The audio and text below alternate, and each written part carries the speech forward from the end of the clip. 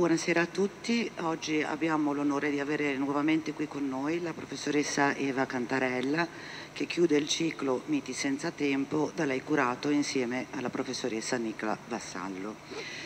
Eva Cantarella ha insegnato diritto romano e diritto greco all'Università di Milano ed è Global Visiting Professor alla New York University Law School.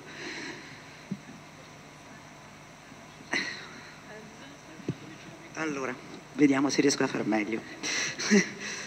Tra le sue opere ricordiamo Norma e sanzioni in Omero, contributo alla protostoria del diritto greco, Secondo natura, la bisessualità nel mondo antico, i supplizi capitali, origine e funzione delle pene di morte in Grecia e a Roma, il ritorno della vendetta, pena di morte, giustizia o assassinio, i comandamenti, non commettere adulterio. Per Feltrinelli ha pubblicato Passato prossimo, Donne romane da Taccia Sulpicia, Itaca, Eroi, Donne potere tra vendetta e diritto, L'amore è un Dio, il sesso e la polis, Dammi mille baci, veri uomini e vere donne nell'antica Roma, L'ambiguo malanno, condizione e immagine della donna nell'antichità greca e romana, l'edizione rivista dei I supplizi capitali, Pompei è viva, perfino Catone scriveva ricette, i greci, i romani e noi. Ha tradotto le canzoni di Bilitis e di Pierre Louis. Nella collana digitale Zoom è uscito L'aspide di Cleopatra. Il suo libro ultimissimo, sempre per Feltrinelli, è Non sei più mio padre, il conflitto tra genitori e figli nel mondo antico. Passo adesso volentieri la parola alla professoressa Nicla Vassallo. Grazie.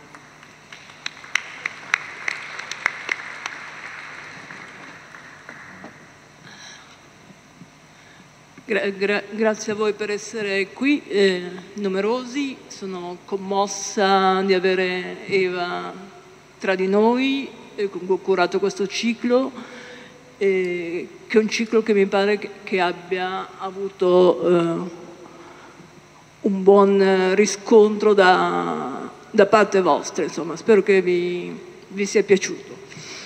Eh, di solito eh, preparo un discorso per eh, introdurre il mito di cui eh, si parlerà.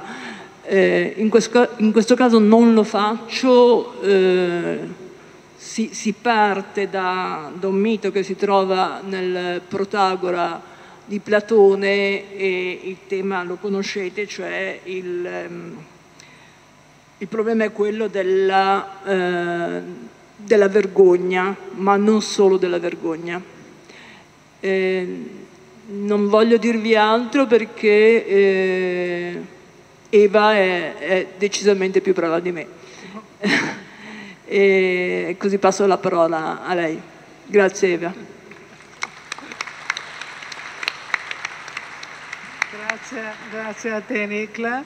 E, mh, e prima di tutto devo dire che io mi devo scusare con Nicla, con gli organizzatori e con voi per aver rinviato un incontro precedente, purtroppo sono stata male, no? sono stata male e non ho potuto veramente venire.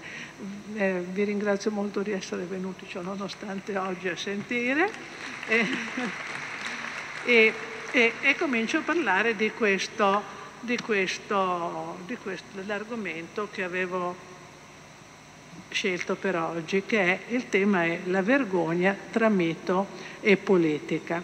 Ed è all'interno di questo, di questo ciclo dei miti, è vero, devo, devo, devo, all'interno di questo ciclo dei miti senza tempo è ovvio che cominci a parlare, cominci a parlare del mito per poi arrivare alla vergogna, vedere i rapporti e vedere, vedere quello che questo, il rapporto fra mito e vergogna ci può insegnare. Ci sentite?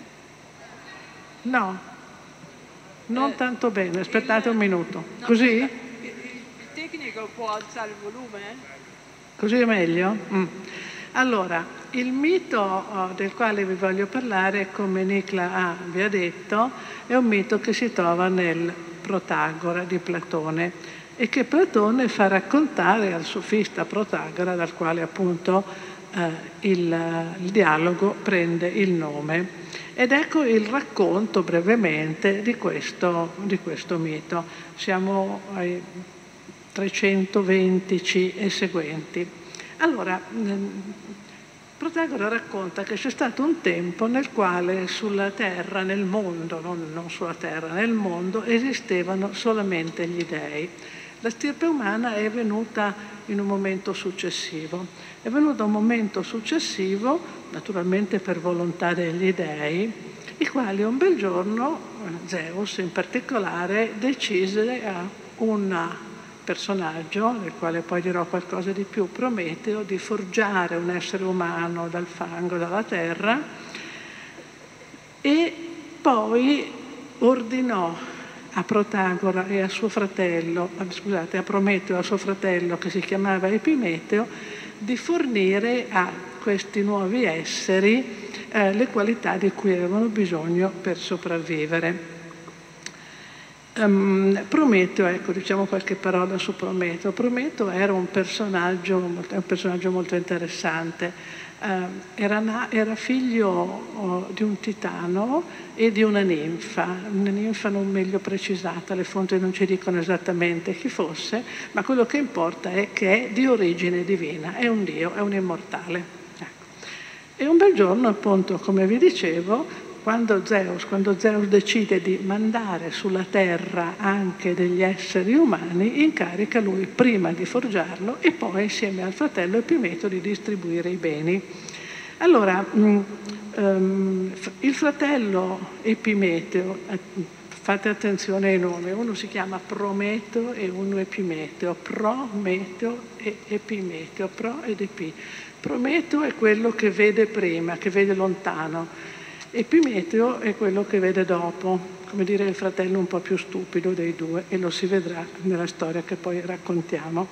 Allora, Epimeteo convince il fratello Prometeo a lasciare a lui il compito di distribuire le qualità necessarie alla sopravvivenza ehm, agli uomini e, e Prometeo acconsente, mm, si mettono d'accordo, uno Epimeteo distribuirà, distribuirà le, le qualità e Prometeo poi controllerà la distribuzione.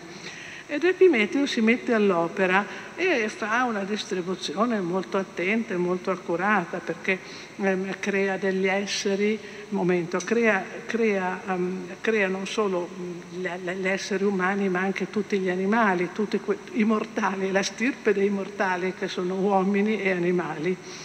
E um, distribuisce le cose in modo che riescano tutti a sopravvivere. Per esempio quelli che sono più deboli hanno le ali e possono volare via, quelli che sono altre, più deboli in altro modo beh, vengono forniti di caverne nelle quali possono ripararsi per difendersi dalle, dalle varie, dai vari rischi. Eh, e, e, prosegue ehm, continuando a distribuire tutte queste qualità tipo le pelli dure ad alcuni animali perché erano necessari per difendersi dagli attacchi di altri, ad alcuni animali gli zoccoli, ad alcuni da- pelli prive di sangue, quindi le varie categorie di questi nuovi esseri ehm, sono um, forniti di qualità che consentono a tutti in qualche modo di cavarsela. Prometeo, Epimeteo fa tutto questo con grande entusiasmo, solo che a un certo punto si accorge che è arrivato alla fine delle qualità che poteva distribuire e c'è un problema, gli esseri umani, gli uomini, non hanno ancora avuto le loro qualità. E che fare? E naturalmente a questo punto Epimeteo si rivolge a Prometeo che doveva controllare, Prometeo controlla, e controlla e decide di risolvere la situazione. E la risolve come? Beh, questo eh, lo sapete, eh, probabilmente lo ricordate, sono ricordi liceali che abbiamo un po' tutti, ruba il fuoco agli dei. Fino a quel momento il fuoco era qualcosa che avevano solo gli dei, gli esseri, gli immortali, non esisteva sulla terra eh, Robeo, eh, Prometeo ruba il fuoco agli dei e lo dà agli esseri umani.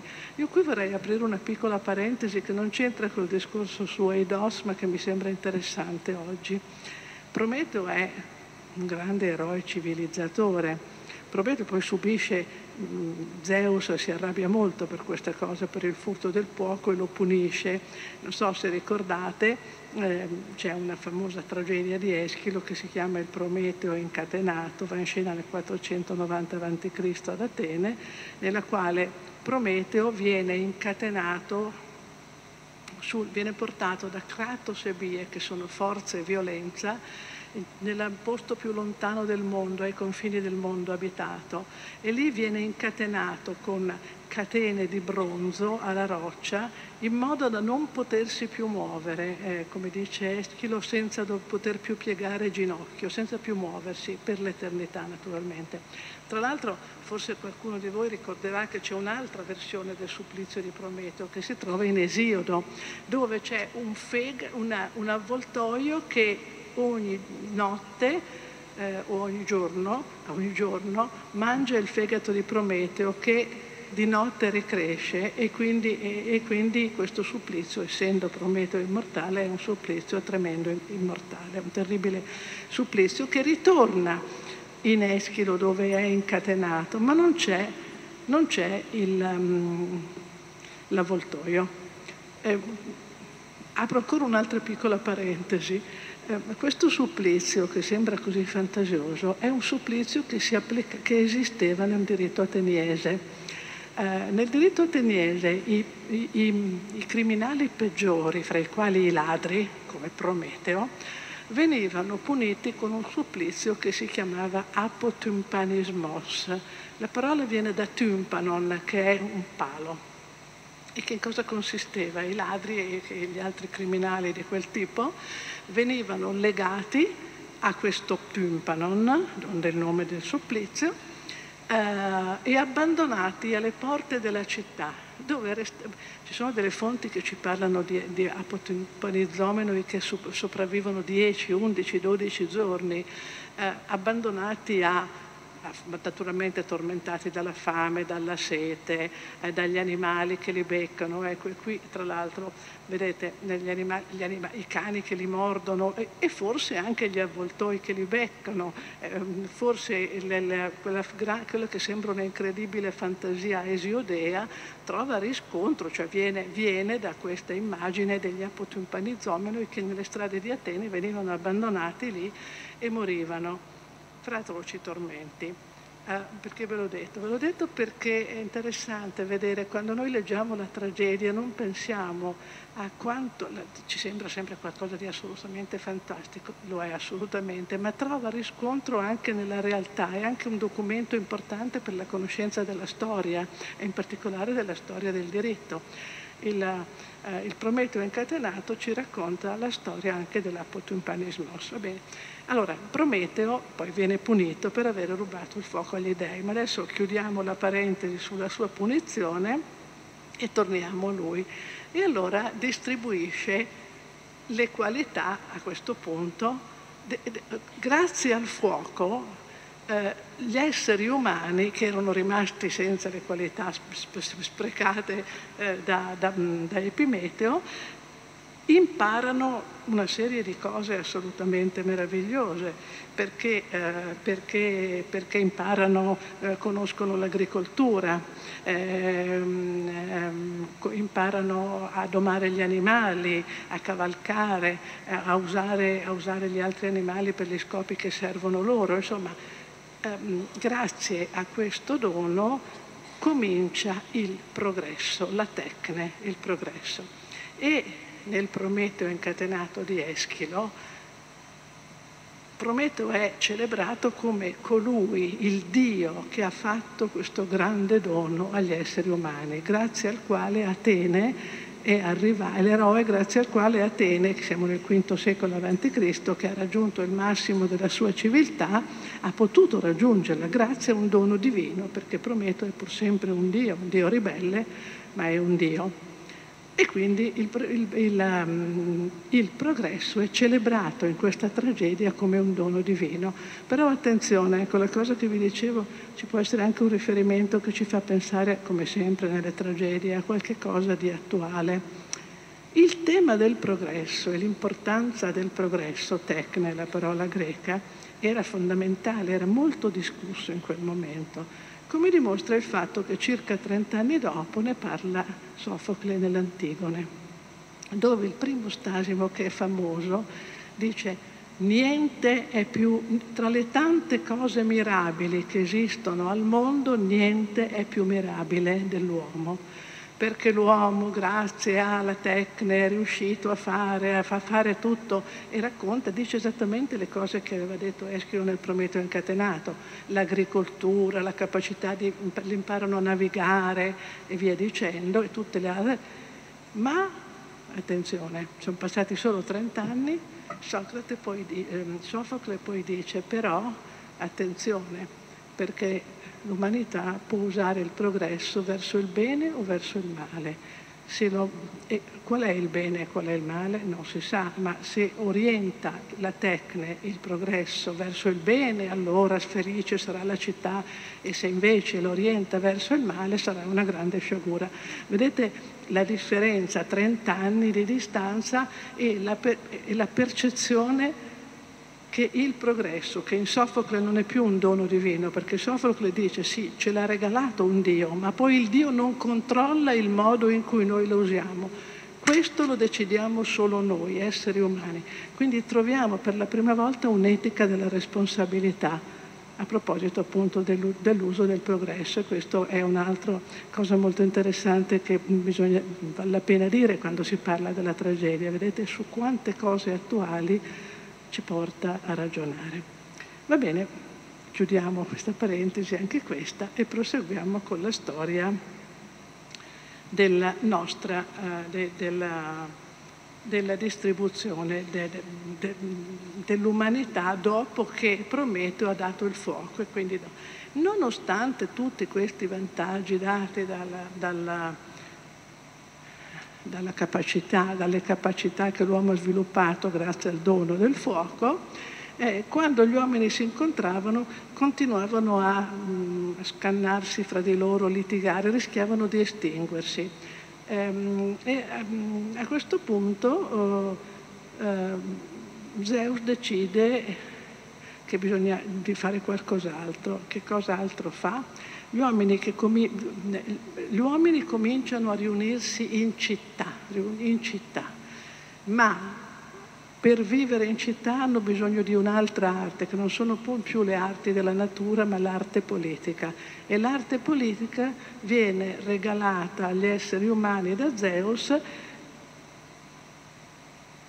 facendo loro conoscere due cose che sono, ecco il mito di cui parlavo all'inizio, Aidos e Diche. Aidos è la vergogna e Diche è la giustizia.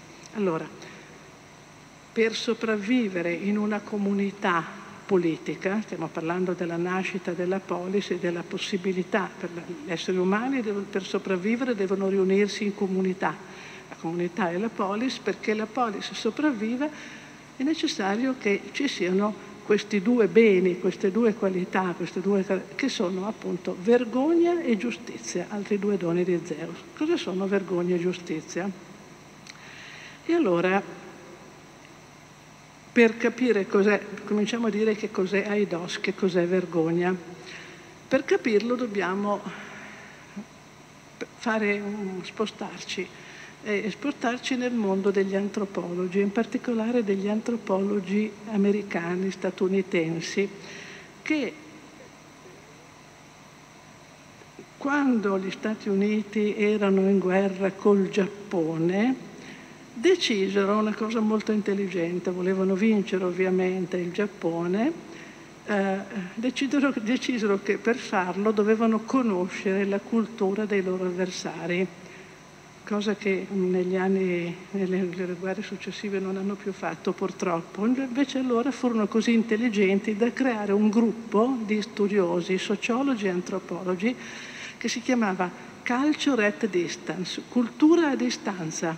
In America questo gruppo studiò la cultura giapponese.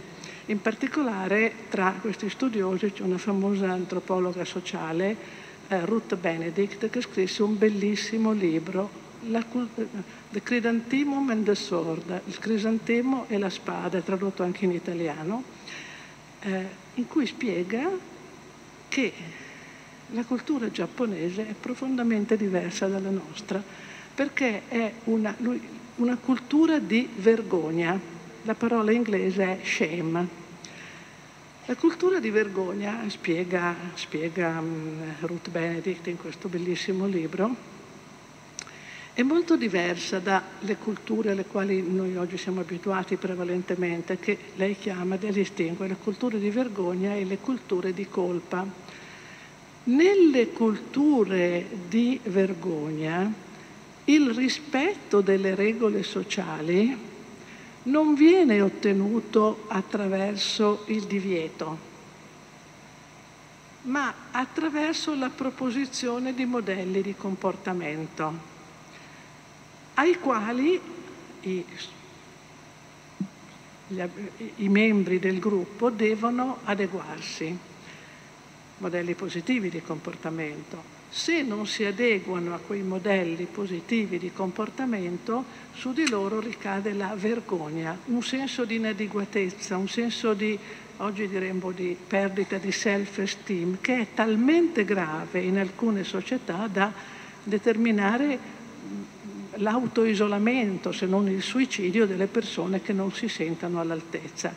Le culture di colpa, invece, guilt cultures, sono culture nelle quali si impongono dei divieti e chi viola il divieto viene punito eh, molto facile. Noi siamo in gran parte e fondamentalmente la nostra è una cultura, è stata per molto tempo, adesso le cose stanno un po' cambiando, una cultura di colpa.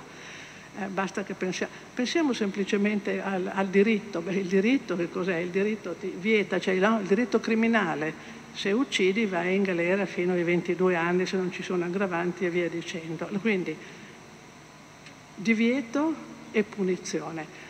Pensiamo alla religione, le religioni alle quali noi siamo abituati, se commetti un peccato vai all'inferno. Queste sono culture di colpa. Queste culture di colpa sono ispirate a valori profondamente diversi.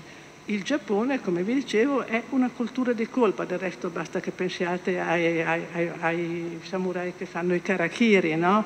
È proprio una, una cultura nella quale è l'ordine sociale, attenzione, viene rispettato, i precetti sociali vengono rispettati ugualmente nelle culture di, di, di vergogna. No? Non, non, è che la sanzione, la, la galera o l'inferno ti fa rispettare, è più, come, come, è più coercitiva come minaccia che non la vergogna, perché anche la vergogna può essere molto molto coercitiva. Questo è quello che Ruth Benedict fa per spiegare la cultura dei giapponesi e i suoi concittadini americani. Um, il suo libro è stato pubblicato nel 1941, è stato anche tradotto in italiano. Allora, mm, vi dicevo, questo era per spiegarvi un pochino Aidos. Quando vi ho detto Aidos è vergogna, Aidos vergogna e diche, i doni che Zeus fa alla polis perché la polis possa sopravvivere. È Aidos. E in effetti la cosa interessante è questa, è che la cultura omerica per molto tempo, non solamente in età, la cultura greca per molto tempo, non solamente in età omerica, era, fu una cultura di, colpa, di, di vergogna. E volevo dirvi questo, la cultura di vergogna e la cultura di colpa non, è, non esiste una cultura tutta di vergogna e una tutta di colpa, sono ideal tipi, tipi ideali. Eh, chiamiamo cultura di vergogna quella in cui ci sono più elementi di cultura di vergogna, cultura di colpa quella in cui ci sono più elementi di una cultura di colpa. La cultura greca è una shame culture, è una cultura di vergogna. La vergogna si chiama in grecia aidos, questo do. E, mm, per rendervi conto di come funziona e com'è importante in Grecia basta che voi pensiate alla, alla società omerica, ai poemi omerici e ai personaggi omerici. E la società omerica è una società nella quale esistono dei comportamenti che devono essere tenuti, come in tutte le società, perché possono sopravvivere, dei comportamenti che non devono essere tenuti.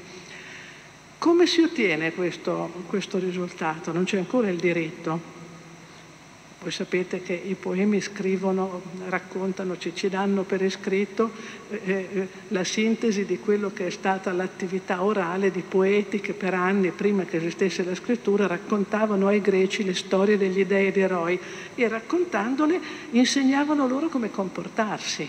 Cioè i poemi omerici hanno una funzione didattica molto importante, educativa molto importante. La paideia dei greci era affidata a questo. Allora, e come si fa? Si propongono dei modelli di comportamento. Qual è il modello di comportamento dell'eroe? Lo sappiamo benissimo, è Achille, che è il migliore degli Achei. Naturalmente i valori dei greci sono molto diversi dai nostri. Achille è una specie di serial killer, un uomo che a parte alcuni momenti di umanità, un paio di volte, quando muore il suo amico Patroclo, anche quando gli portano via Briseide, anche se lì è un po' perché è un fatto anche di onore che gli hanno portato via la schiava, ma comunque è crudele, ricordate il suo comportamento col cadavere di, di Ettore dopo averlo sconfitto. Achille è il modello da seguire e Ulisse è il migliore e gli altri chi sono? Sono Agamennone, Menelao, tutti gli altri che ugualmente hanno uno, una, una, uno, un ideale. La cultura greca, la cultura omerica in particolare, è una cultura nella quale viene, privato, viene premiato, premiata la capacità di raggiungere i risultati. Allora l'eroe è quello che riesce a raggiungere i suoi risultati più degli altri, meglio degli altri. I suoi risultati, come vi ho detto, possono essere molto, per, noi, per noi molto poco nobili e molto belli, ma non importa, vuol dire comunque essere, ecco, il, c'è un, un verso che torna un paio di volte nei poemi, il giovane greco deve imparare a essere sempre il migliore, il migliore di tutti, il migliore in qualunque cosa se non riesce ad essere il migliore, il migliore vuol dire è una società estremamente competitiva, non esistono ancora dei valori collaborativi, non è ancora nata la polis, quindi non esistono ancora i valori, l'attenzione agli altri, la, la, la, la dicaiosune, tutti questi valori che nasceranno più tardi, la cooperazione non c'è ancora, sono valori di competizione, l'eroe omerico deve essere quello che vince tutto. Se non vince, che cosa succede? C'è la vergogna. La vergogna che in Grecia si chiama, in, in Omero, si chiama appunto aidos, c'è un verbo aideomai, io mi vergogno. Per esempio Ettore, quando Andromaca gli dice Ettore morirà perché va a combattere contro Achille. Andromaca gli dice va col figlio stianate sulle mura e gli dice non, non, andare, non fare di me una vedova, di lui un orfano, eccetera, eccetera. E lui vorrebbe, ma dice non posso perché ai deomai mi vergogno delle troiane, dai lunghi pepli, mi vergognerei se io non facessi il mio dovere, che è quello di andare e vincere, crede lui, il nemico. Poi in realtà non vincerà. Ecco, questa è la società omerica, questo vale anche per le donne. Eh? Il modello positivo qual è? Lo sappiamo benissimo, è Penelope che ha 108 pretendenti, che è fedele a Ulisse, eccetera, eccetera. E il modello negativo qual è? Clitennestra, Clitennestra che adultera e assassina. Allora la donna che è come, come, come Penelope è celebrata dalla, ecco c'è una parola importante, la, vo, la demu femis, la voce popolare tutti diranno che lei, che quella donna è la migliore. Tenete presente, se voi rileggete con attenzione Omero, vi accorgete che in Omero i personaggi non sono, non si dice mai che Achille è il più forte, Achille è detto il più forte. Penelope non è la migliore, Penelope è detta la migliore e Clitennestra è detta l'adultera per antonomasia. I personaggi non sono, sono detti, sono creati dalla voce popolare, dall'opinione degli altri. Questo nel mondo omerico. Questo tipo di... Uh, la, la, la, quando dalla, dalla, società omerica si passa all'organizzazione politica e si introducono dei valori collaborativi, beh, eh, tra cui la giustizia, um, le cose cambiano un po', ma non completamente. La Grecia continua ad essere per secoli e secoli fondamentalmente una cultura di vergogna. Ecco, questo per quello che riguarda Aidos. Ho cercato di spiegare il significato, perché poi la traduzione vergogna non è chiara se non si spiega tutto questo.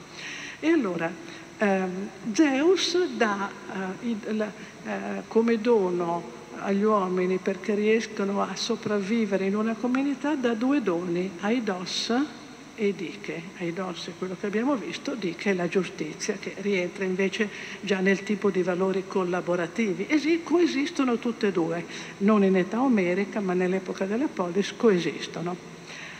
E adesso veniamo un momento anche, io non, come sempre non guardo da quanto sto parlando.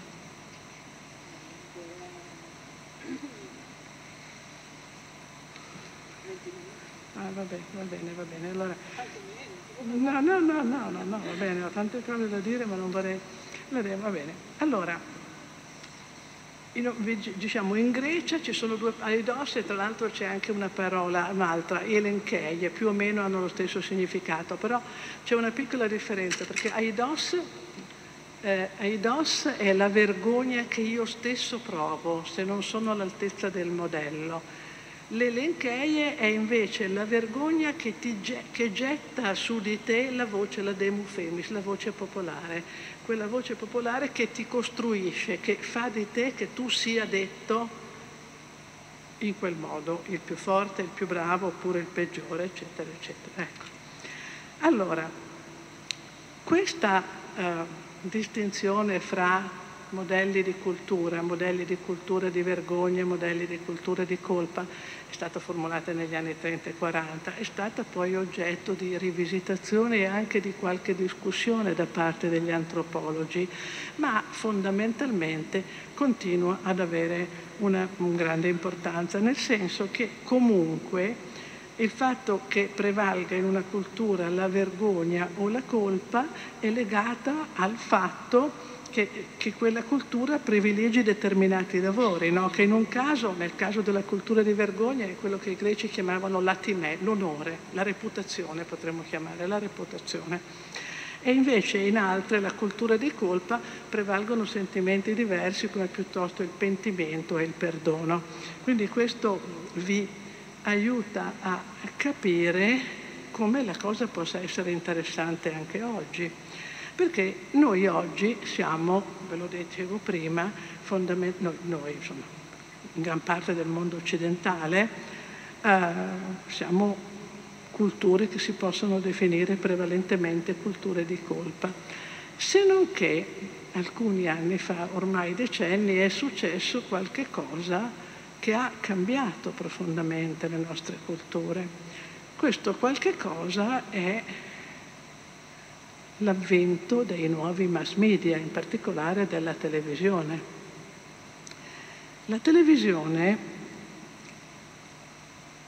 è, è, è molto interessante, ci sono stati degli, degli studi anni fa, uh, i grecisti hanno cominciato a fare un parallelo fra la televisione e i serial televisivi e addirittura l'Odissea, i poemi omerici. Perché?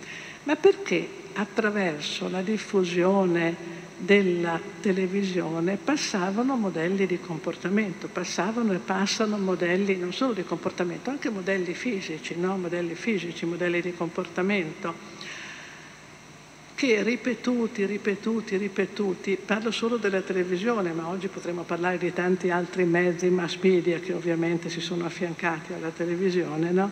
Che creano, ehm, hanno creato, hanno fatto nascere anche nelle nostre culture degli elementi di culture di vergogna.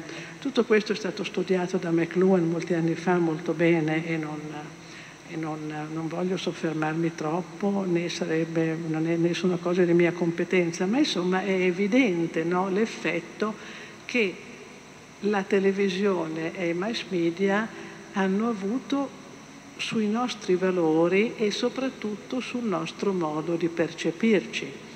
Io molti anni fa, e, tra l'altro i, um, I serial televisivi presentano dei personaggi che sono caratterizzati anche fisicamente in modo molto chiaro, in modo da rappresentare il cattivo e il buono. Io ricordo moltissimi anni fa un serial televisivo che si chiamava Dynasty, parlo degli anni Ottanta, eh? in cui c'era quell'attrice inglese John Collins, che si chiamava Alexis, che era la cattiva era per antonomasia la cattiva, era una donna che aveva divorziato dal marito, che aveva trovato un'altra donna che era invece molto buona, diciamo poteva essere, questa era Clitennestra e quella era Penelope, no? E eh, di una cattiveria incredibile, ed anche, era anche caratterizzata fisicamente come la donna aggressiva, cioè la, la, televisione eh, metteva gli spettatori di fronte a questi modelli psicologici, etici e sociali che si riconoscevano a vista d'occhio. Uno guardava questa Alexis e capiva che era perfida assolutamente, la perfida Alexis. E d'altra parte, questo... Oh, ha portato questa necessità di adeguarsi ai modelli, non necessariamente al modello cattivo, neanche al modello buono, ma insomma a dei modelli di comportamento che, o di, anche di estetici, che se non si riusciva a raggiungere provocavano questa perdita di, di, di, di autostima. Un esempio banalissimo Pensate alla, alla scheletrica magrezza per molti anni, adesso sta cambiando un po' fortunatamente negli ultimi tempi, del modello estetico femminile, cioè non solo le, le modelle, ma le donne erano veramente scheletriche. Pensate alla, alla l'anoressia non, nasce, non nasce solo da questo, ma certamente questo ha avuto un effetto disastroso anche sulla quantità, milioni di ragazze che dovevano assolutamente rispecchiare quel modello di estetica. Ecco. Allora, in una, una, un'attrice, come vi dicevo, un'autrice francese che si chiamava Florence Dupont, in un libro molto divertente che si chiamava Omero e Dallas, ha spiegato anche tutte queste cose, spiegando appunto il ruolo di queste delle novelle nella trasformazione della nostra cultura. Ma cosa possiamo concludere da tutto questo discorso? Che nella nostra società oggi esistono modelli di cultura e modelli di vergogna, mm, eh, elementi di modelli di culture di colpa e di culture di vergogna che rispetto al mondo greco ovviamente sono molto diversi. Ecco, quello che forse possiamo dire è che la vergogna è stata oggi dislocata, è stata dislocata perché, eh, perché sono cambiati i modelli di comportamento, ma se sono diversi i valori, il meccanismo è lo stesso, cioè chi non si adatta al modello, quale che sia, oggi ovviamente il modello dell'uomo, il modello di successo, il modello economico, il modello un po', in un certo senso, il modello vincente di nuovo, eh, tornano gli elementi antichi. Ecco, eh, ehm, si sente inadeguato e si vergogna. Cioè, guardate che anche oggi, eh, per molte persone, moltissime persone, quello che è più importante non è, è, è essere detti. Ecco, eh, del che ovviamente non ha colpa la televisione, eh, con questo non voglio dire che la colpa di tutto questo sia la televisione, ha colpa chi se ne è servito e se ne serve per propagandare questi tipi di modelli di comportamento come, del, come della, della tecne, del progresso di cui parlavo prima, della vergogna si può fare buon uso e si può fare cattivo uso. Ecco, l'uso che è stato fatto recentemente della vergogna dai nostri mass media purtroppo è stato estremamente negativo.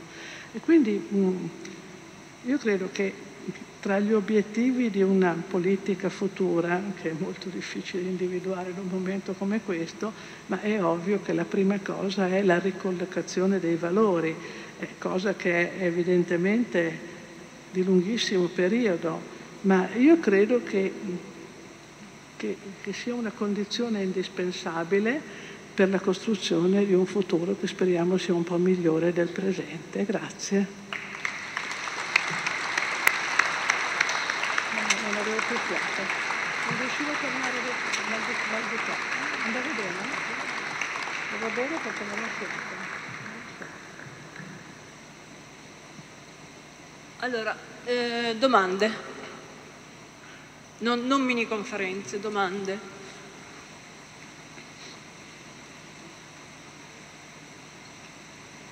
C'è un microfono, basta alzare la mano e...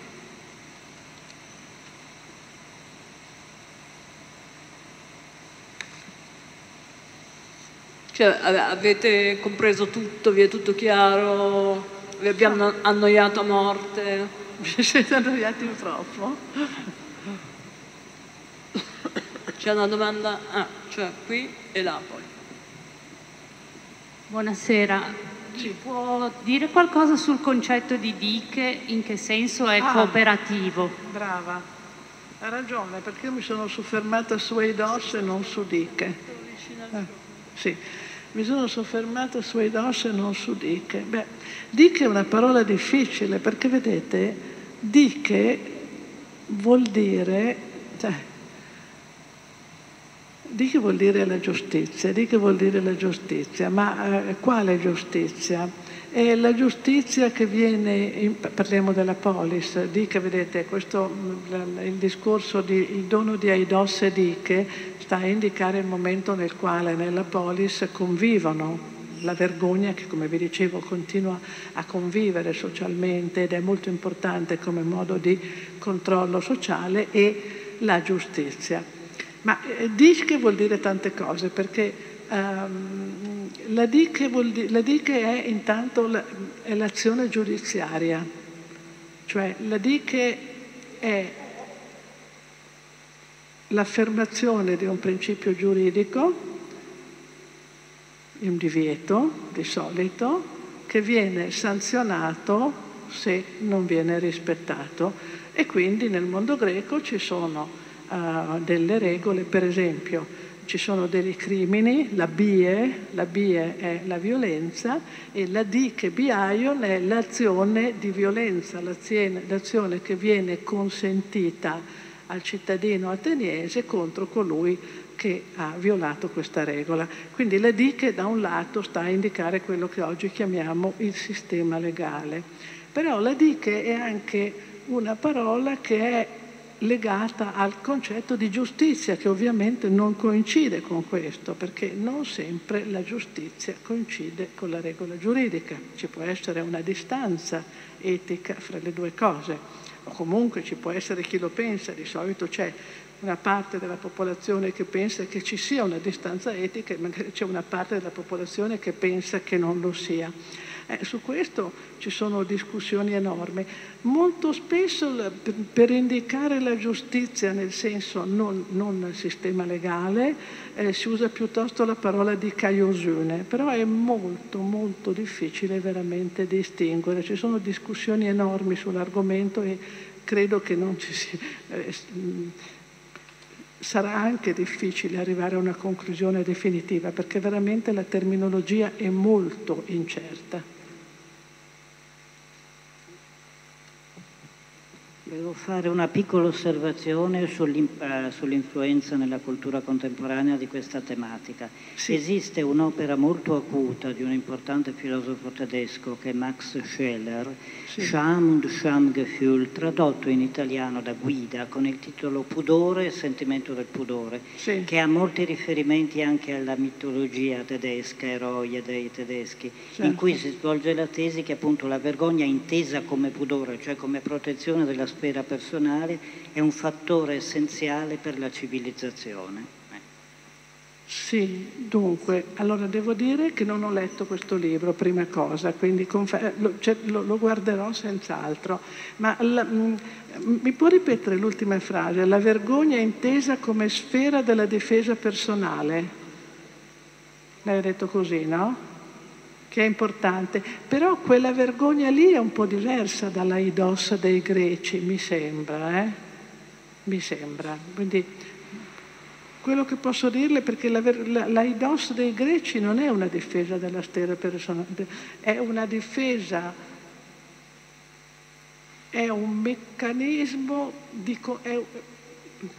È un meccanismo psicologico che agisce all'interno di un individuo e che consente alla collettività di imporre certi comportamenti, quindi di imporre non fisicamente ma psicologicamente. Quindi per quello che capisco c'è una qualche differenza fra questo tipo di vergogna e quello di cui lei parla, però dopo se mi dà una, una indicazione che scrivo più precisa vado a controllare meglio. Grazie. Eh, aspetti, perché, perché sennò... Mm, diciamo c'è un sottile legame perché Scheler svolge ah, l'argomentazione che la... Sì, Scheler svolge l'argomentazione che la difesa personale è legata in qualche modo anche a un senso di inadeguatezza, una tensione tra la sfera ideale eh, a cui si vorrebbe appartenere e la sfera reale, ah. quindi qualche legame tra le due nozioni ah, la, la difesa in questo senso, capito? Sì. Allora c'è il legame certamente, sì. Beh, la ringrazio ancora. Altre domande?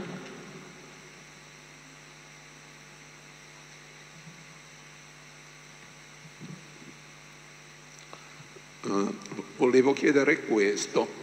A me non risulta molto chiara la differenza fra colpa e vergogna, perché mi sembra che spesso le due cose possono essere associate.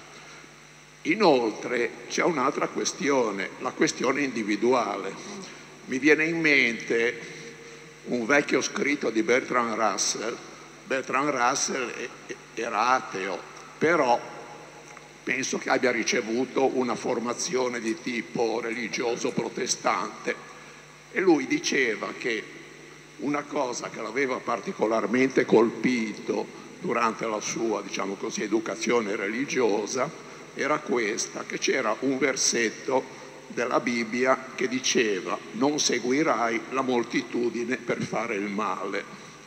Mm. Ora questo introduce un elemento individualistico ci sono società che sono strutturate in un modo tale dove l'individualismo viene magari condannato, altre che lo lasciano più libero. Ora mi chiedo, questa questione individuale come si inserisce fra colpa, vergogna e indipendenza di giudizio personale? Grazie. Eh, sono domande difficili. Come si... Intanto eh, eh, tra colpa e vergogna sì, però certo non è facilissimo eh, distinguerle completamente, ma però eh, c'è una differenza fondamentale. Eh, la colpa è qualcosa, eh, il senso di colpa, il senso di colpa è la, quello che tu provi perché pensi di avere meritato una punizione, no? quale che sia dal carcere all'inferno o quello che sia. Quindi temi una punizione, ci vuole una punizione, ci vuole una minaccia ed è, e tu ti senti eh, a disagio, non sei contento con te stesso perché ti sei messo in quella situazione, ma non ha a che vedere con, la, con questa soddisfazione, con questo desiderio di corrispondere a un modello che è presente nel, nel senso di colpa. Mi sembra insomma, che si possa vedere una distinzione fra le due cose, anche se certamente non le dicevo, come dicevo prima, questi due concetti sono stati molto discussi dagli antropologi e dai filosofi ovviamente, perché sono difficili, ma credo che grosso modo si possono più o meno, come dicevo, collegare all'esistenza di valori diversi. E, e la colpa è più legata probabilmente a valori come appunto uh, la necessità del perdono uh, per se stessi, per il pentimento, ecco il pentimento. Il pentimento nella cultura di vergogna è qualcosa che non sembra proprio presente. E, e come, si, um, come si colloca all'interno di tutto questo l'individualità? L'individualità vuol dire la libertà dell'individuo, no? quindi di scegliere i comportamenti. Beh, non lo so, sono tutte e due se ho capito bene la domanda. Sono sia nelle culture di colpa che nelle culture di vergogna Uh, um, ci sono elementi fortemente costrittivi. Io credo che le culture di vergogna possano essere più coercitive e la paura eh, della vergogna possa essere ancora più terribile e lasciare meno libertà all'individuo della, del, del, senso di colpa. Ecco, quindi mh, mm, si collocano, credo, allo stesso modo e con la stessa forza e forse, forse, forse con maggior forza ancora di più nelle culture di vergogna, che erano molto poco individualistiche da questo punto di vista. Ecco, credo, spero di essere veloce. Se ho capito bene, il Signore ha citato Schröder, comunque un, un eh, filosofo tedesco. Sì, prima. Mm. Sì, prima. E, mm, eh, usa, ricorrendo al termine eh, Schande, Schande, no? Mm. Schande è la vergogna pubblica, non quella individuale, è quella, è quella che, sì. lo scandalo Invece lo sham in lingua tedesca è la vergogna intima. Eh, sì. Ecco, il tedesco ha questa doppia Ma... accezione e, e, poi c'è anche il termine strafe che è la punizione, la duche in qualche ah. modo, non la vendetta, è la punizione giusta. Sì. Ma forse questa, distin- forse questa, distinzione c'è anche un po' in greco, eh?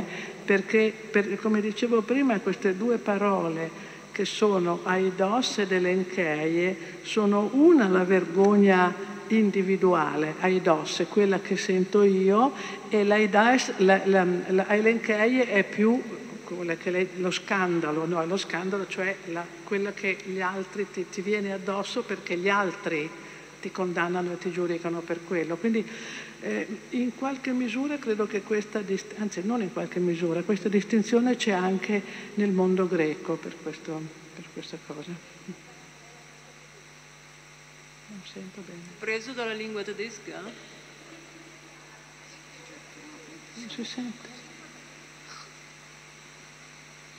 A mio giudizio la lingua tedesca è molto fedele all'antico greco, più dell'italiano, e eh, appunto la lingua tedesca rispetta sì. questa duplice, sì. questi duplici significati, sì. più fedelmente dell'italiano. Grazie. Beh, perché in italiano ha ragione lei, non abbiamo, non, non credo che avremmo, sto pensandoci adesso, ma non avremmo due parole per dire la vergogna.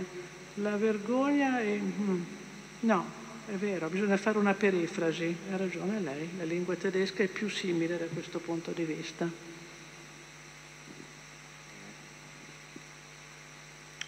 Buonasera, eh, dunque io mi chiedevo, nella cultura contemporanea ehm, ho pensato che eh, la questione dei like che si utilizza ehm, nel mondo dei social network e del, quindi like e dislike, quindi una cosa mi piace, una cosa non mi piace, che richiama anche diciamo, il verso eh, che, si, che, si, utilizzava per esempio in, uh, in, Grecia per decidere se una persona doveva sopravvivere o meno nei combattimenti in arena, mi sembra, non so se l'arena sia il termine giusto.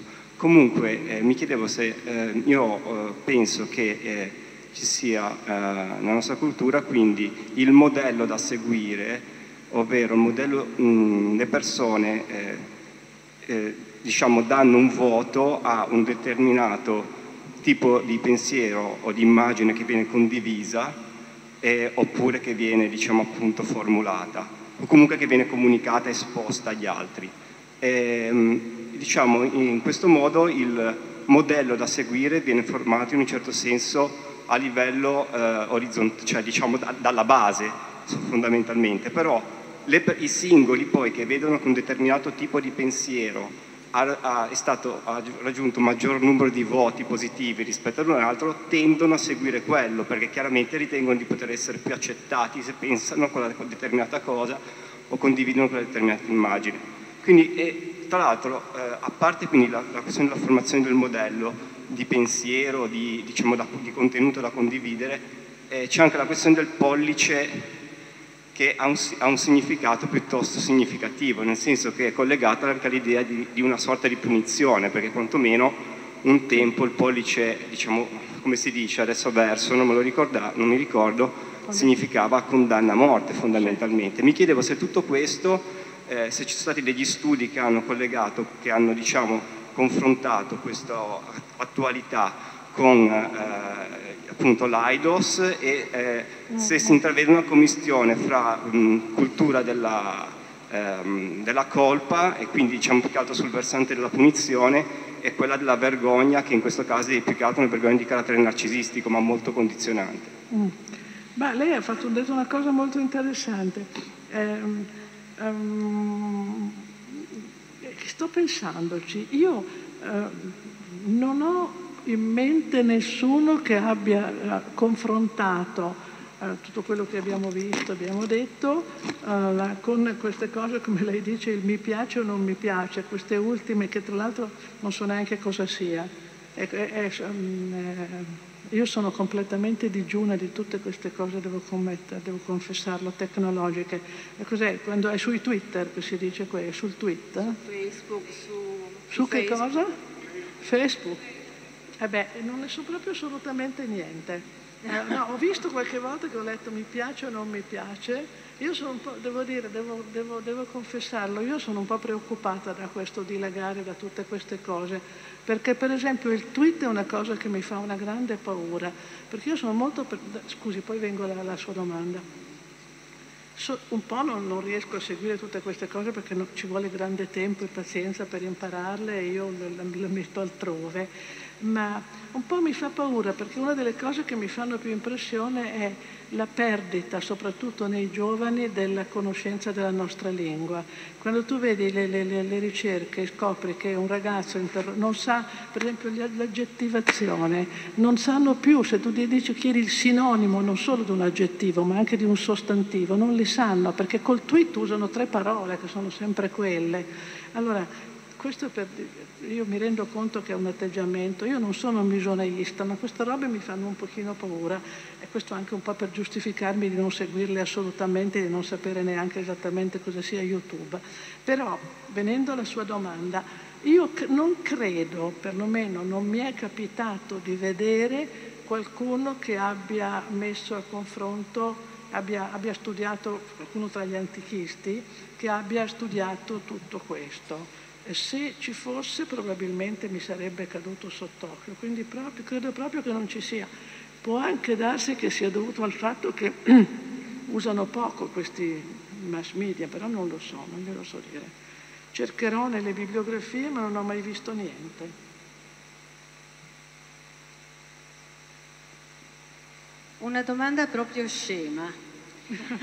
Sono domande sceme. Eh, in che sono modo, sicurezze sceme, ma domande no. In che modo eh, gli, studi- gli studiosi americani hanno messo a frutto la scoperta che la civiltà giapponese era una civiltà eh, della vergogna? Beh, l'hanno messa a frutto tentando uh, tentando di comportarsi in modo tale da tenere in conto queste loro caratteristiche. Insomma.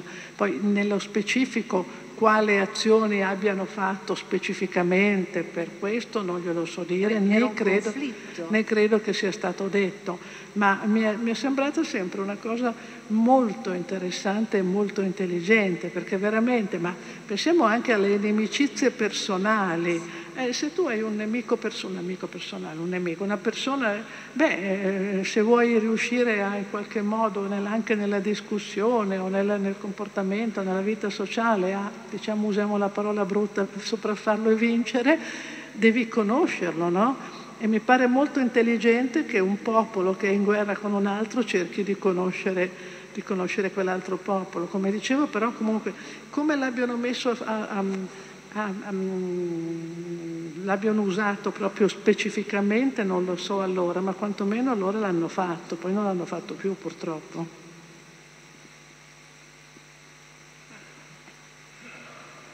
Buonasera, volevo chiedere questo.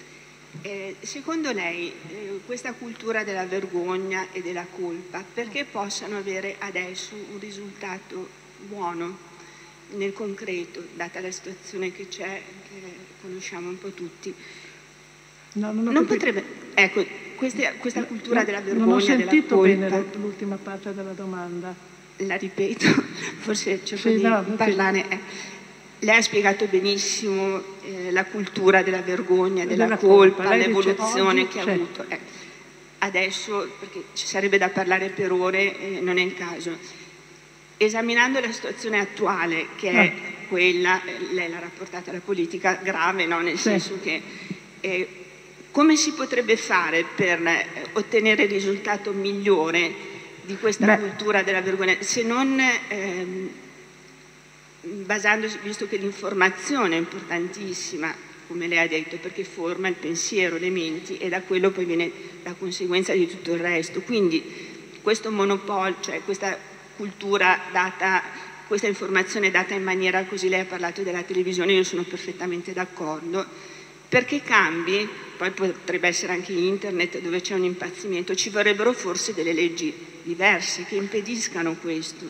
Quindi un cambiamento delle leggi che possa ehm, alla radice impedire un abuso dell'informazione che porta a questi risultati. Ecco, non potrebbe essere questa una soluzione basandosi anche a un adeguamento ai allora, tempi. Sì, no, io credo che se così fosse, se fosse possibile solo con qualche legge che vieta qualche abuso raggiungere il risultato di cambiare profondamente quelli che sono i modelli di comportamento che ci vengono imposti dai mass media, imposti, proposti e anche imposti dai mass media, beh, sarebbe molto bello, ma credo che non basti.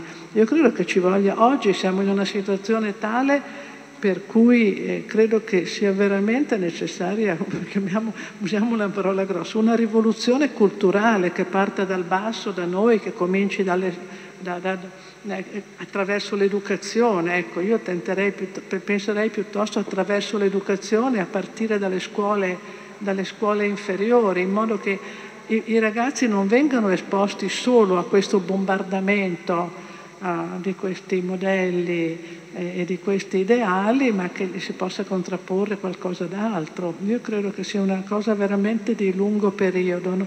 Non credo, sarebbe bello se si potesse risolvere con le leggi, ma temo che non sia così.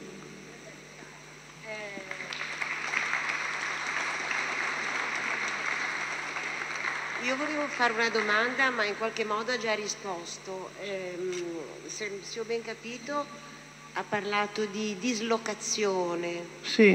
Perché sono cambiati i modelli, i valori, no? Mm. E allora mi veniva da chiedere, dislocazione per andare dove o scomparsa della, della vergogna?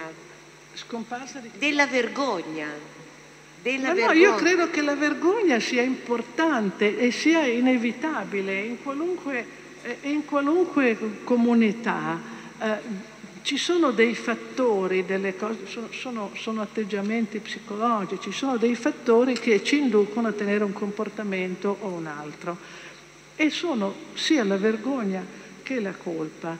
E quello che è importante è che queste, questi, questo, questa reazione scatti nei confronti, la dislocazione quando parlavo di dislocazione parlavo di dislocazione dei valori e dei modelli, di spostarla, così che la vergogna scatti quando uno commette un'azione uh, indegna, quando una persona si comporta male, quando, lei mi dice cos'è il male, va bene, intendiamo, quando una persona aggredisce un'altra, quando una persona commette un'azione assolutamente considerata dalla, maggiore, dalla grande maggioranza dei problemi, deve scattare allora, non deve scattare quando quella persona non è riuscita ad avere la Jaguar, ecco, è quella la dislocazione, no? È perché adesso la, la, la, la, vergogna è quando tu non hai, non hai la, borsa firmata non so chi che costa 4.000 euro, ecco, quella è la roba, la ragazzina che si vergogna perché non ha, non ha quella cosa. Eh, buonasera. Eh, io mi chiedevo per, per quanto riguarda diciamo, il binomio della legge e della vergogna, ah. eh, se come visitazione di questo tema in chiave moderna non si può vedere assolutamente un libro che peraltro viene studiato tantissimo nelle scuole, che è Il buio oltre la siepe, in cui l'azione legale è mossa da un padre che vuole nascondere una vergogna e quindi preferisce, eh, per coprire la vergogna della figlia, fare un processo falso e tutto il tema invece del, dell'avvocato che difende il, la persona innocente da questa falsa accusa. No, no, scusi, non ho capito se lei sta parlando di un fatto o di un romanzo. Un romanzo, Il buio oltre la siepe, che peraltro, che io ah. sappia, in tutte le scuole superiori viene studiato ah. molto frequentemente, un romanzo americano famosissimo sì. degli anni 60 che parla del... Il essenzialmente padre... il tema è contro il razzismo nel sud degli Stati Uniti in cui un padre che ha una figlia che ha avuto una storia amorosa con una ah. persona di colore preferisce accusare l'uomo di colore di violenza e lo, lo, fa condannare, poi questa persona viene, muore in prigione anche se non era assolutamente perché, colpevole. Questo, perché questo libro viene fatto leggere così tanto nelle scuole? Scuola? Viene fatto studiare molto proprio per il tema legge e vergogna, che cos'è la, il diritto, che cos'è la giustizia. quindi può tema... essere, sì ho capito, cioè, il certo, tema è esattamente è quello. No, ma, ma e questo... quindi per esempio un tema benché io non ritenga che la letteratura americana, forse come informazione per i nostri figli, debba superare la, cultura, la conoscenza della cultura europea sì. o greco-romana, sì. però la vituperata cultura americana quando viene presentata alle scuole, per esempio questo, questo libro è assolutamente centrato su questo tema quindi è positivo. Questo Quindi, però è un po' il discorso che facevo prima, sì, deve, sì. deve, partire dal basso e dalle sì, scuole. Sì, sì, però non è assolutamente che non, non, non esista, sicuramente eh, ci vuole che poi venga applicato. Ci vuole tempo. Sì, no, ci vuole che, che, i ragazzi lo maturino, che lo interiorizzino. Certo, certo. che però venga spiegato, vedo... però insomma non è che non, non esiste come concetto. Non è sì. neanche vero che tutti i ragazzi vivono solo su Facebook o che Facebook non no. debba essere un metodo per fare queste cose. Niente, così volevo No, sì, giù, che... delle cose interessanti. Cioè io i miei figli non gliel'ho fatto leggere io e tutte e due a scuola l'hanno letto. E purtroppo ci sento malissimo, ma non fa niente. Mi sento male, io rimbombo molto, ma non fa niente, però ho capito, ha detto una cosa domanda. interessante. Sì, eh, buonasera, sono, sono, qua. Allora, due, due domande ancora e basta perché poi la... Volevo domandare, si può fare un commento eh, relativamente alla alla vergogna e alla colpa portata nella, nella, nella cultura protestante e nella cultura cattolica, perché la cultura cattolica ha trovato forse il modo di liberarsi dalla colpa. Ha trovato il modo di liberarci dalla colpa, vuol dire con la confessione? Esatto. Mm. Sì. Eh? Sì. Sì, certo, infatti, infatti. Ed, è, ed, ha delle conseguenze molto, molto interessanti secondo me questo, perché una delle cose che mi hanno colpito di più, io passo spesso dei lunghi periodi negli Stati Uniti, e la differenza fra chi ha una cultura, io non sono cattolica, ma ho, una, ho avuto una cultura cattolica anch'io ovviamente, no? come tutti, e i protestanti è proprio questa e devo dire che, eh, non so se sia un bene o un male, ma noi viviamo con noi, sì, chi, chi, ha, chi, chi, ha, la confessione è qualcosa che aiuta evidentemente a, a, a, a sopportare con maggior leggerezza eh, i problemi della vita. E, eh, sì, i, i, protestanti mi sono sempre sembrati molto più tormentati di noi, ha ragione lei, dai, certamente dai sensi di colpa. Noi abbiamo questa grande cosa della, della confessione che è una grandissima invenzione per chi ci crede naturalmente, però la differenza c'è, ha ragione. Eh, professoressa, scusi che intervengo ancora.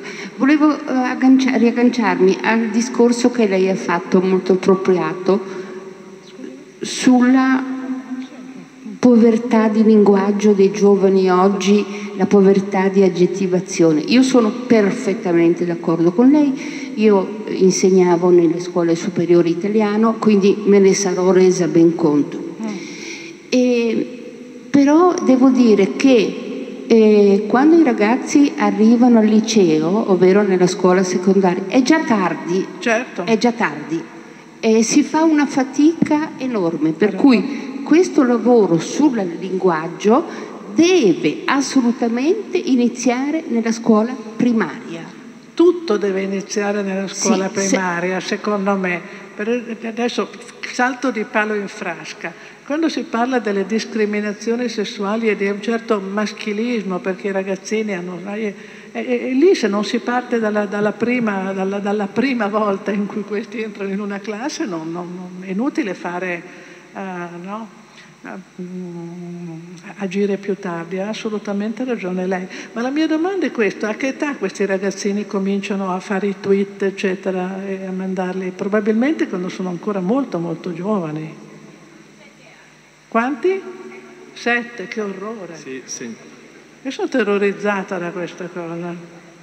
Il tweet mi dà fastidio, devo confessare che mi dà fastidio, non solo quando lo usa, ecco, io, io- io poi per tante ragioni. Una, una ragione è, io ogni volta che leggo che il Presidente del Consiglio ci comunica le sue cose con un tweet, io ho una, una roba proprio che, ma no, ma no, ma non si può, ma non si può, no? Anche per un, per un rispetto per le istituzioni, per quello che... E, e- e- e- poi, eh, certo, se, vabbè, certo, se questo è l'esempio, i bambini a sette anni lo faranno, lo continueranno a fare. Pazienza. Una, una domanda brevissima. Eh, secondo lei la cultura dell'aidos, Del? dell'aidos, della Sì. vergogna, presuppone una società più democratica, un'esemplificazione, mentre la cultura della No. diche può presupporre una società strutturata, più autoritaria, esemplifico. La vergogna mi può portare, copiando un pezzo di tesi, a dimettermi. La vergogna La, la vergogna mi può portare, copiando un pezzetto di tesi, a dimettermi, se facendo un riferimento specifico alla Germania. La diche mi può comportare in una struttura di legge ad aspettare la prescrizione per eh, non essere colpevole. Quindi mi sembra che, ritornando eh, all'origine greca, la struttura dell'aidos forse sia meno autoritaria, senza scomodare Pericle. È meno autoritaria? Sì, No, io, io non credo, sa, che sia meno autoritaria. Io non credo che sia meno autoritaria. Penso che veramente possa essere una sanzione psicologica spaventosa. Eh, ci sono stati degli studi sulle società che erano purame- puramente, nessuno è mai una cultura di vergogna pura, ma molto di vergogna. Le società che una volta si chiamavano anche primitive, no? dove il diritto non c'era ancora, adesso si chiamano di interesse etnografico. Beh, lì la gente si suicida per la vergogna, si suicidava per la vergogna. Io credo che possa essere altrettanto costrittiva, sa, non credo che sia più, più anche perché alla vergogna non sfuggi, mentre alla regola giuridica puoi pensare di, di- di sfuggire. Perché tu dicevi, è sanzionato, sì, ma se non mi prendono non vado in galera, no? Quindi no, credo che non ci siano questa differenza, credo di no. Ma io volevo semplicemente fare un'osservazione. Sì. Il mondo di Facebook, in fondo, il mondo di Facebook, in fondo, è come se avesse parcellizzato e disperso che, la- sia la vergogna che la colpa. Nel senso che le persone, gli individui, si sentono collegati ad una dimensione che non ha più nulla a che fare con la polis e con lo, e con lo Stato, ma è un qualcosa, diciamo, di totalmente differenziato e totalmente indifferente rispetto alla polis. Per cui la discussione tra, tra vergogna e colpa e della diche, e la diche diventa quasi inesistente come parametro.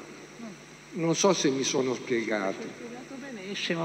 Ha ragione perché la comunità di chi eh, usa questi mezzi è una comunità eh, che non ha confini, che non ha limiti, che, tra, no, che non, non, un, non, so neanche se si può definire una comunità, ha un numero di interlocutori tali per cui sì, credo che lei abbia ragione in questa osservazione, assolutamente.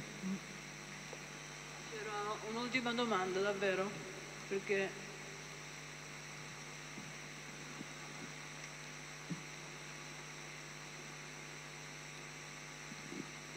Sì, eh, volevo chiedere se mh, si potrebbe fare un paragone tra mh, Achille, la figura di Achille e eh, figu- cioè le figure che vengono proposte mh, sotto i regimi autoritari, che mi viene in mente nell'Unione Sovietica Stakhanov ad esempio. Staccano? no. O, perché per solo quella?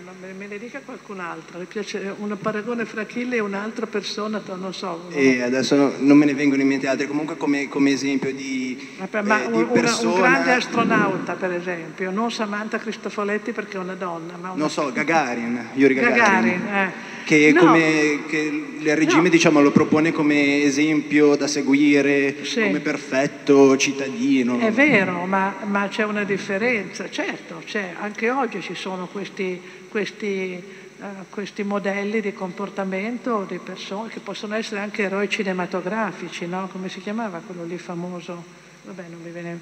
eh, possono essere anche eroi di, di- di grandi avventure cinematografiche, ma il problema è che Achille era, era, di nuovo, è la differenza dei valori che vengono proposti come modelli, i valori, che veng- i valori di cui Achille è il campione sono valori esclusivamente competitivi. Ecco, oggi mi sembra che la cosa sia un po' diversa, fortunatamente, però non può escludersi che ne salti fuori un altro di quel genere. Eh, sono- eh, eh, il modello corrisponde a, a- alla, a- alla- a quello che in quel momento una certa comunità, un certo gruppo vuole, vede come ideale, eh, quindi cambia molto nel tempo. Quello di Achille non era un bel modello, diciamoci la verità. Allora, grazie a tutti voi, grazie a Eva Cantarella e speriamo di rivederci con un ciclo simile, sempre a cura mia e sua, eh, se lei lo vorrà, lo desidererà il eh, prossimo anno. Grazie e buona serata. Grazie.